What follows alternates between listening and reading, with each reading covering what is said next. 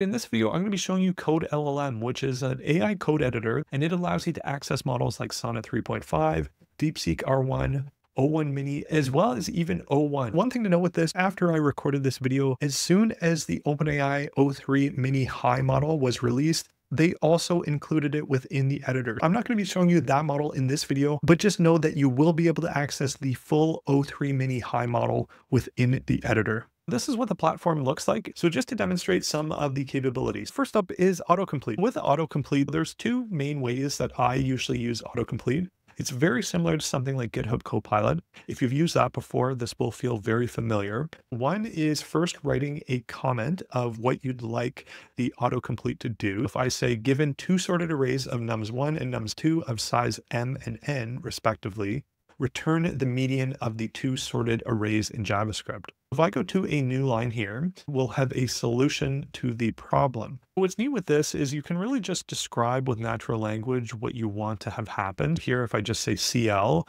it knows that this is a console log. It has the context of what we're working in. It will also even give you the output of this invocation of that method. That's one particular way that you could use autocomplete. Now, the other way with autocomplete, the way that it works is if I go and I say something like player, and within this object, let's say I want a number of different aspects about the player. Now, if I specify weapons, it knows that this is potentially going to be an array. And then within that array, it can be an object and we'll have a sword and we can just sort of go through. There's a bow, there's a dagger, you can specify the damage, and you can just sort of continue and go through your workflow like that. This is the autocomplete feature. Now, another way that you can use this is if I just select everything and I command I, it will allow me to change whatever I have selected. If I just say I want to change this to make it more complicated and have a better structure. And after I submit that, what it will return is a diff of what I asked for.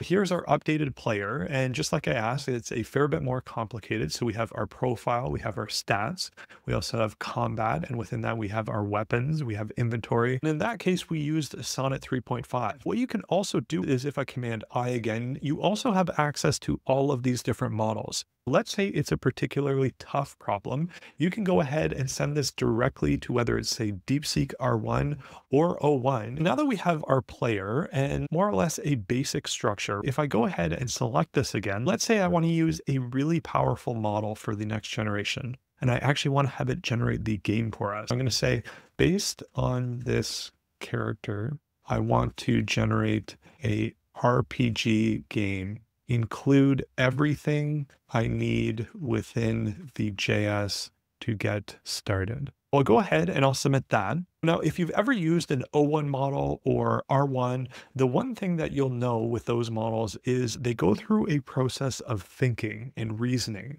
Depending on the query that you ask, it definitely will take a little bit more time. Here we see our diff. If I just go ahead and accept that, within here we have our player, we have our enemies, we, we have this attack enemy function, we have enemy attacks player, we have level up, we have start game, and we have all of these different aspects that we can continually build upon. And one of the big differences with Code LLM, where it is particularly unique when you compare it to some of these AI code editors, is it gives you a lot of access to O1. What you can also do is generate code within this panel here. Let's say I ask O1 and I say, I want to build Tetris completely from scratch I want the HTML, CSS, and JavaScript to be within one HTML file. Now, if you haven't used O1, it's incredibly powerful. Questions like this, oftentimes I find are pretty fun questions to ask some of the latest coding models.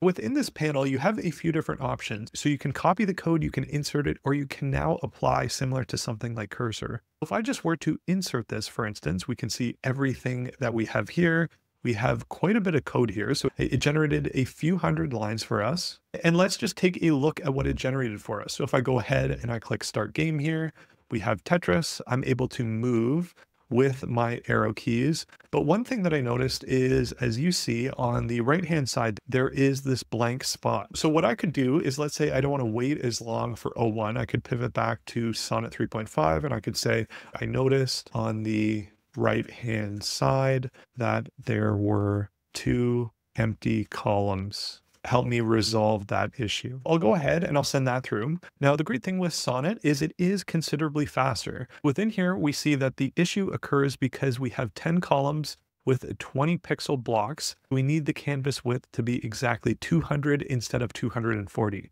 Just to demonstrate this, if I go and find the canvas element within the HTML, so there's our canvas.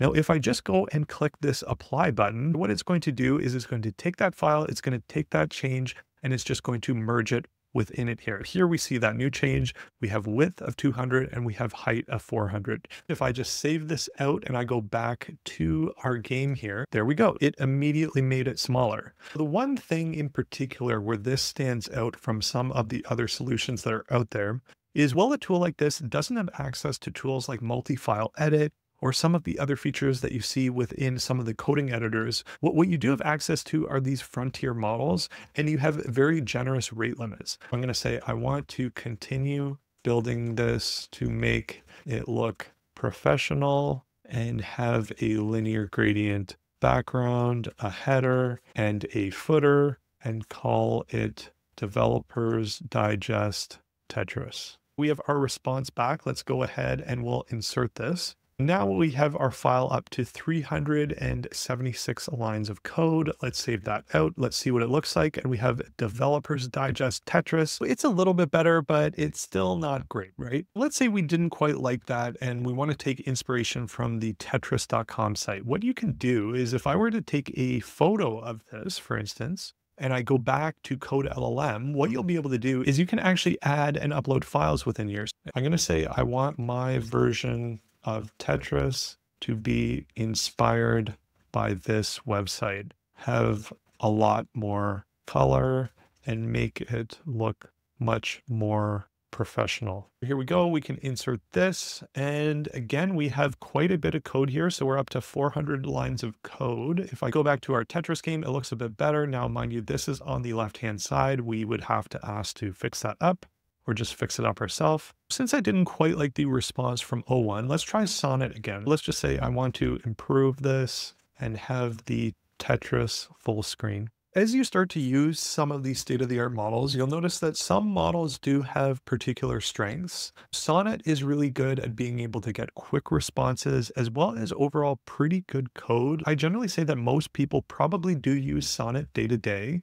And so that's the nice thing with this is if you're really looking to use the absolute most powerful models for coding, this is really the only editor that I'm familiar of that allows you to access with very liberal rate limits models like O1, R1, as well as Sonnet 3.5. A number of other solutions out there, they do give you a credit-based system where it's a number of tokens per month to be able to access models like Sonnet 3.5 and O1 and O1 Mini. These are not cheap models. One thing that you'll notice with Code LLM is very quickly after new models come out, it's within short order that they roll them within their platform. And this is regardless of price or provider. If you want to access O1 or DeepSeek, or let's say we have a state-of-the-art model that comes out from Anthropic, it will without a doubt be included within this as well. Now, another thing to note with the platforms, to access Code LLM, it does cost $10 per month. And within the subscription, you also have access to their web interface. And within here, there are a ton of web app features, but I'm not going to dive too much into Chat LLM. I do have a video on this as well on my channel if you're interested in checking it out. But just to give you an idea, within here, you'll be able to access models like GPT-4o, O1 Mini, O1, R1, and the list really goes on. They even have Grok, they have DeepSeek V3, they have the Llama series of models, and there are really just a ton of features built into this. Now, the other thing with this, you can easily select the context of the different items that you like. You can also individually select if you want to reference this piece of JavaScript that we wrote and the HTML, you can pass in the context just like that. And you can also just chat with it as well. So I could say something like, what does the reset button do? Explain how it works, for instance.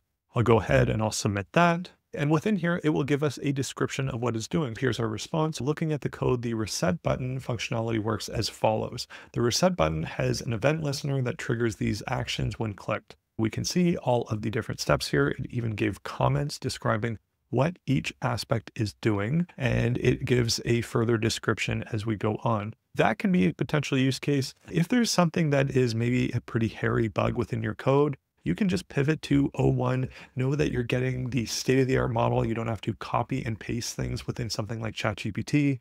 You'll be able to quickly just reference that piece of context within your code base by selecting those relevant pieces and including them just like that. So next within this list, we see that we do have something called Code LLM. What this will do is if I ask a particular query, if I ask something like in my HTML, I want to improve this, make it look more professional and add in a few navigation items and a professional looking footer. I'll go ahead and I'll send that through. Now, as soon as I sent that in, you see that it grabbed the relevant context of the example.h that we have within our workspace. What that's done is it's used some form of model router to effectively triage that request. So if you haven't used model routers before, how they work is it will take a very quick look at your request and it will determine, okay, should this use Sonnet? And you don't have to worry about pivoting back and forth it will go ahead and attempt to use the best model for the job, depending on the request. So, and the other thing that I want to mention to close out the video is at time of recording, they're actually offering an unlimited quota as an introductory offer